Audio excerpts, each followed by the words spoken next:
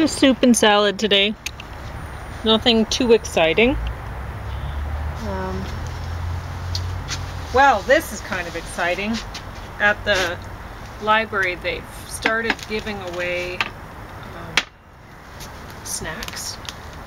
At the, Oh yeah, yeah. It's a psychologist who's working at the. Oh, I don't know what that desk is called. It's some sort of It's a. not the info desk. No, it's it's one for. Oh, that's right. They've had a guy from Nepal, or very educated, uh, I think, or Bhutan, somewhere around there.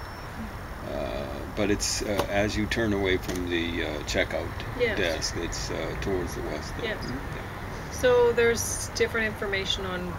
Sometimes there's um, some useful stuff there. They have a lot of information for people if um, about you know what kind of services there are, public Yeah, services. exactly.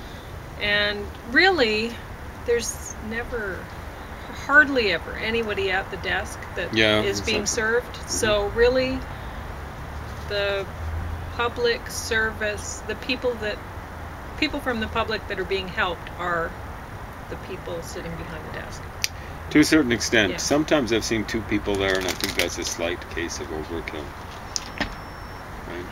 I think it's basically for uh, people that are called or characterized as marginalized. Uh, I don't know. you know, like uh, I have problems with that designation when there are people. I'm not saying all are, but when there are people who've marginalized themselves through uh, drug abuse and uh, stuff like that. You know, like uh, I've had to be put on opioids and I got off of them right away, four days. So didn't feel a thing. So um, I have little sympathy. I was on them for a year. It's not as though I was on them for a couple of days or something like that. I was on them for more than a year, more than a year. So um, yeah, it would have been a year and a month and a half approximately. We'll say a month, a year and a month, because I don't like overestimating. And it was serious enough so that the had told me go, no, go turkey on, cold turkey on them and uh, I didn't have a choice really. Uh, I lost the stuff in the luggage. You know, it was at the bottom of the car somewhere. So uh, And we were hiking. we were hiking, and I think that might have been the thing that prevented me from you. Feeling the anything because the endorphins kind Mhm. of uh, acted as a. Uh, believe me, I was in a lot of pain, but it was because of my back. got five fractured vertebrae and we walked, I think, on average 10 miles a day for, the, for two full days and two part plus two partial days. We were on the road. Well, we were on the road almost uh, four full days, but uh, we didn't have for the beginning and final day on the road. We didn't have that much time for hike. But still, 10 miles a day doesn't seem like much, but for someone with my back, it's stunning. You know. Stunning achievement. But what they were saying was uh, before I got the stem cell therapy, and not that much before. As for hiking, don't expect miracles. And Yeah. that wasn't like hiking in the mountains. Uh, we weren't doing well. We ended up do, doing one uh, that I believe uh, characterizes at least moderate. I think it's uh, moderately difficult. It's, uh, I made a mistake in uh, picking it out or something like that. Was I the one who picked it out? I can't remember. But uh, yeah, it was uh, that. Even at the start of that, every step I took, and I'm not into exaggeration. I had I groaned out loud. I I had help. to run back to get the car. Yeah, I couldn't have made it Couldn't have back. made it back. I couldn't have made it back. Uh, we I walked a long way that day. I wouldn't have made it back. We walked many miles before that. Pulled the plug. or I think Pauline might have been hers. No, I think it was my suggestion. It was my pleading. So, uh, you got any books to talk about or anything Hmm, I'm going to talk about my snacks. Oh, there we go. What sort of snack is it? I'm not going to tell you name. Oh, that's right. Yeah. But it says that it made with real cheese, made with in very small print, and then real cheese in all caps. Mm. And then um, baked cracker, a star, flavored filling, cheddar cheese star, right? And then this cheddar cheese in big with a little asterisk. And then um, below in smaller print, asterisk flavored filling. So it's actually the made with real cheese thing. I, I don't know. That's pretty funny. And um, Oh, are these some of these things then? yeah, those The cheese ones are for you. I counted them out. I'm gonna have one right now. It says that they're stuffed full of awesome. Stuff full of awesome. I thought Yeah. it was cheese and No. not that full. But Um, and what is awesome? Well, it's a whole bunch of things. There's a big, well, I get A lot of appalled when it's a whole bunch of things it's in including yellow five lake, yellow six lake, blue one lake. Wow. I'm barely tasting the cheese. Hydrolyzed corn, gluten, natural flavor, lactic. Do they claim to have cheese in there? Um, Baker's and cheddar cheese blend. Baker's cheese, eh? Okay. Something I've never heard of, but I can hardly claim to be a cheese aficionado. There's a lot of things in there. Yeah, too much. I mean, just give me the cheese and And I'm the gonna beef. have no, a few, Huh. and the dogs are gonna have a few, because um, two.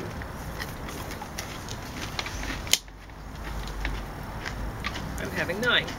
Well, Um, give me Ritz crackers. I know I'm saying we don't have the packet, they're not flashing them, but the cheese crackers, they're better. but this, it says that there's about six servings per bag, per container. It says, and I mean that was given away as a treat at the library because the psychologist said she wants to encourage that people snack. Well, instead of chowing down on huge big meals, maybe. But if it's snacked on top of a, a bunch of meals, with the current lack of activity amongst most people in our society, that's a recipe for something not quite disaster, but this, I, I, I don't want to indulge in uh, the rhetorical device of overstatement or a trope, as the folk Gauchos like saying. But uh, of course, they're the worst offenders when it comes to troping us.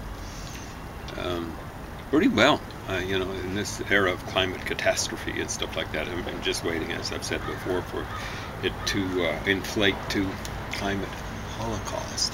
Yep. Getting But- hot under the collar already. I was looking forward to eating these crackers this way when I saw them yeah. because I knew that I had a can of tomato soup that was given to us Yeah. at home.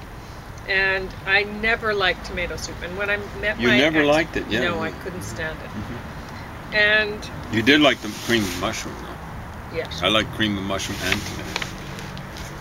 yeah. But when I met my ex, he was like, "Tomato soup's the best," and I was like, "No." And he said, "You put cheddar in it." And That's what my you mom put did cheddar too. cubes and it melts and it gets all stringy. And um, so he made me some, and I was like, "Yeah, let's, good go. this way." Mm. So I'm lately I'm reminiscing. Um, I'm using food as a memory device to think about good times with people from my past. And this was cheese with tomato soup. So So it's it's good to be able to think of uh, that guy in uh, positive terms. Uh, that's one thing he was good at was cooking. yeah. he taught me how to cook a lot of things. Like a lot of basic things that people should know, like how to make a white sauce. There we go. Now don't take it as a sign of uh, approval that I'm eating this. I'm just eating stuff that's not going to mess up my hands, and I'm hungry because you know, it's about an hour and a half after I'd ordinarily have a meal. I was getting a treatment over at the hospital. So didn't have much choice. Anyway, yeah. It's important to be able to eat just something as I won't say homely because people are going to misunderstand it, but as plain as tomato soup. Because sometimes, most of the time, making food, being a good cook, it's just having food on the table. My my mom was a great cook, but she was also a good cook. Seven kids. Yeah, well, we're eating instant right now because James just got back from the hospital, Yeah. and I didn't know when he was going to get back. Sometimes it's a little hard to tell. Yeah. I'm moving sometimes quite slowly. Um, when I get out, it's, it's tough on my back. Back's uh, uh, with the five fractured vertebrae. If uh, it just gets a little bit wrong, it's hurting for days afterwards, hurting extra much.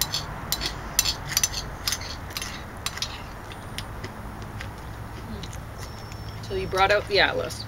I did, but first I want to talk about Jason Kenney. Oh, what did he do now? Did he come back from holidays? Yeah, he got back from holidays. Probably got a nice tan. Maybe too bad he didn't go right into a ventilation, a ventilator or something like that. Pushing poor immune system compromised people out of the way, much like Boris Johnson, because that's frankly what the guy would do. Boris Johnson should have just bit the missile, not the bullet, and said, I'm sacrificing my life for at least one person and going in a ventilator. Because he caught that on on his own recognizance, as it were. What a scumbag. I'd like to know how many people died because of his, died for his indiscretions. You know? Mm-hmm. I suspect it was at least one. For rushing that fat. Looks like gutted. I was thinking of another portion of anatomy. Crank into a, a ventilator. Uh, he'd been seen shaking hands with people, and I don't think either parties would have been masking and stuff like that. Anyway, all of a sudden, some of the restrictions are back on again. Jason, buddy, make up your mind. Or you're having a little trouble finding it there in between your ears. And the big trouble is, the flunkies they've got on the CBC. Here's what I'm hearing: takes a big man to uh, reverse field. hmm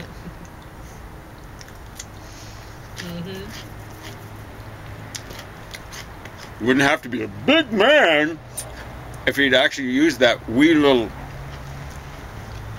bit of gray matter he's got between his ears. I'm assuming he does have a little bit.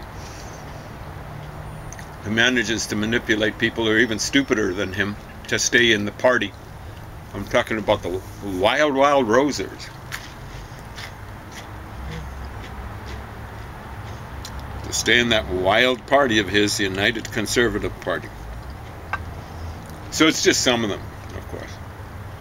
Some of the restriction.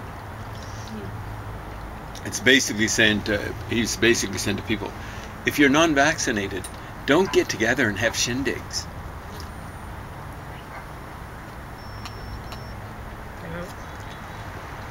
But uh, there were there were masking required, I think, and it might be shopping situations. I'm not sure. Uh, I just heard the one announcement. It wasn't really an announcement. It was someone reporting it at secondhand, as it were. I think it was during that uh, phone-in program. Yeah, just at the end of it. But the numbers, poor Deena Hinshaw. Why am I saying poor? She's poor in spirit.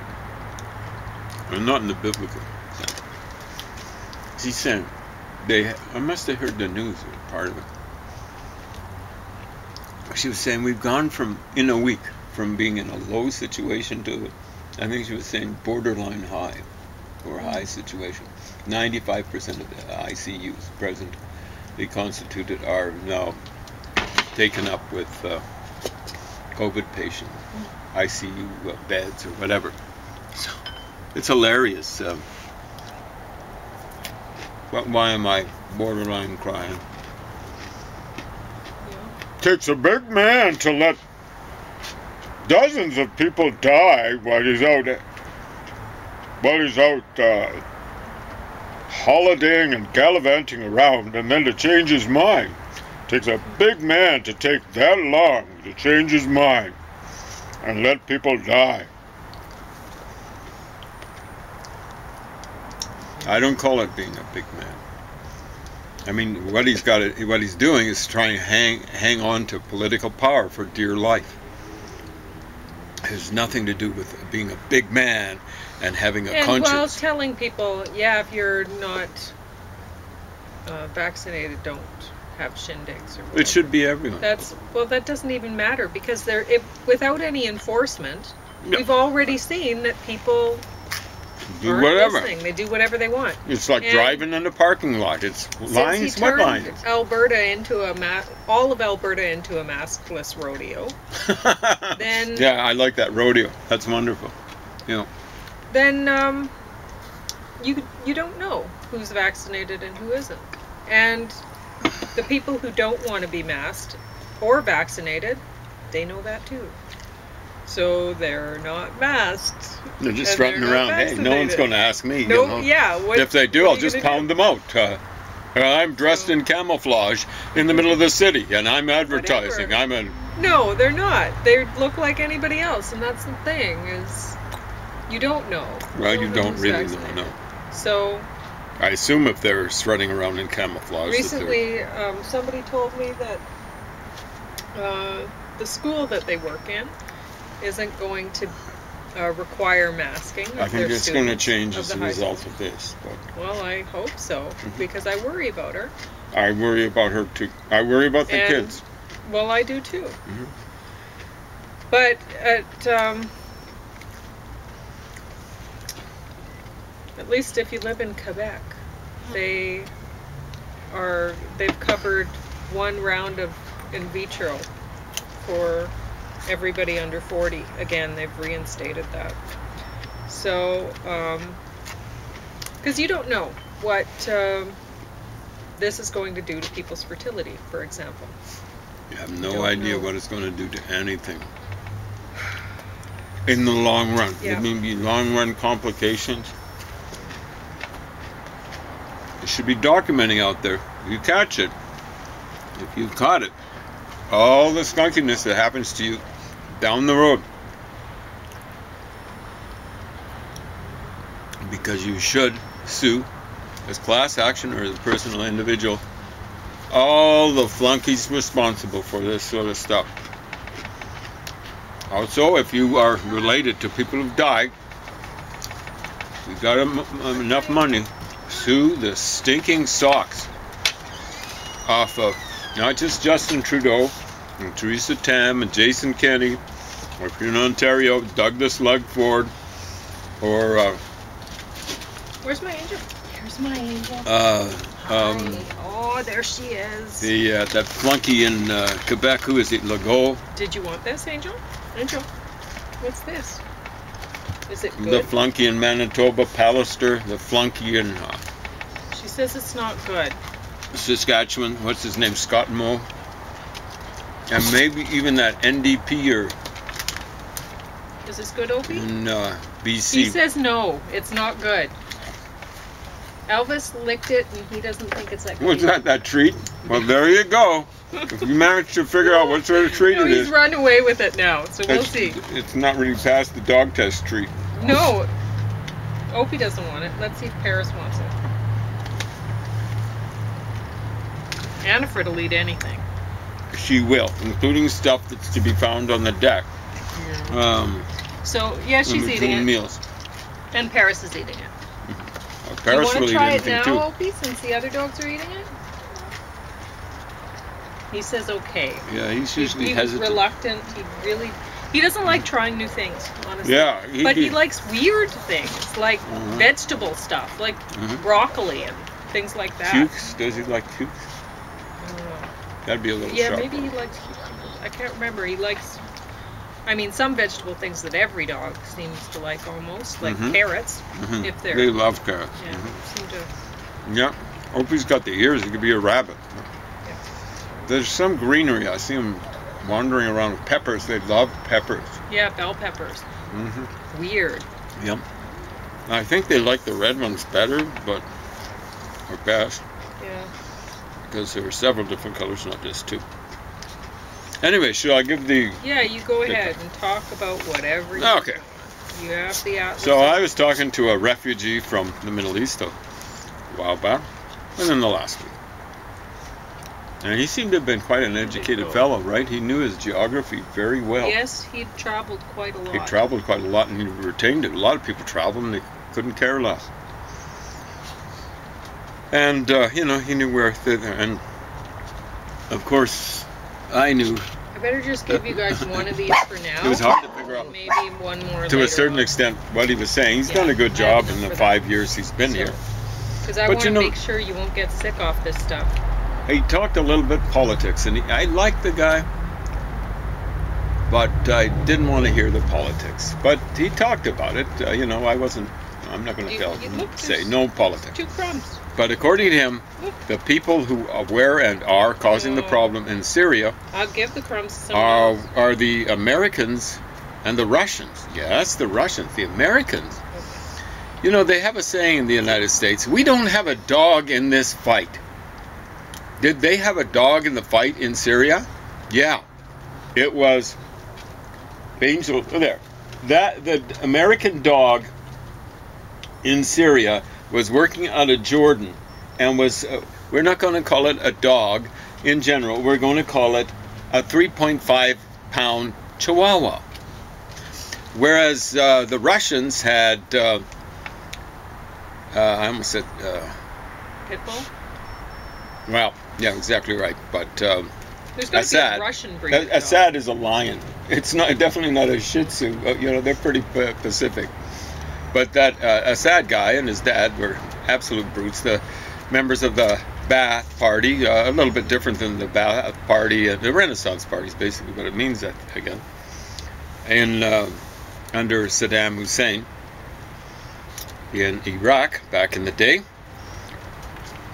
So a little bit different, but uh, you know their methods and means, really mean means, um, somewhat similar. So that, that's Russia's dog in the fight. And uh, then I didn't hear him mention Turkey.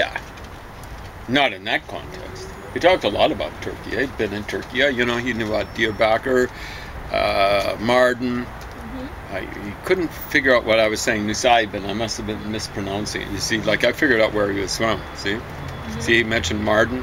When I mentioned Diyarbakir, I was I who mentioned it. Uh, he said, "Yeah, yeah, Diyarbakir." I, I might have been putting the accent on the wrong syllable.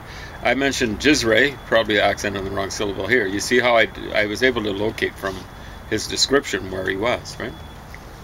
Or where he'd come from, I should say. So a long time ago, I knew who was running ISIS in the Middle East. Okay? I'm going to show you my analysis. I've got this stuff. I don't need the atlas. This is why you. The other day I was talking about the value of memorization. This is how you can do analysis like this, right?